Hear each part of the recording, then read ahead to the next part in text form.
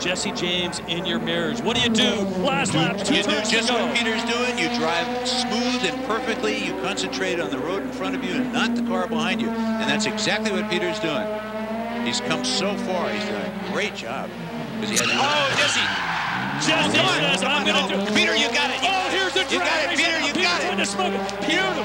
Beautiful Jesse. reaction. Peter's reaction to that was perfect. He didn't panic. He hung on and kept going. Oh, the And he's bad got boys. it. He's got it. Jesse tried. The bad boys tangle, but it is Peter Reckell, car number 14, followed by Jesse James.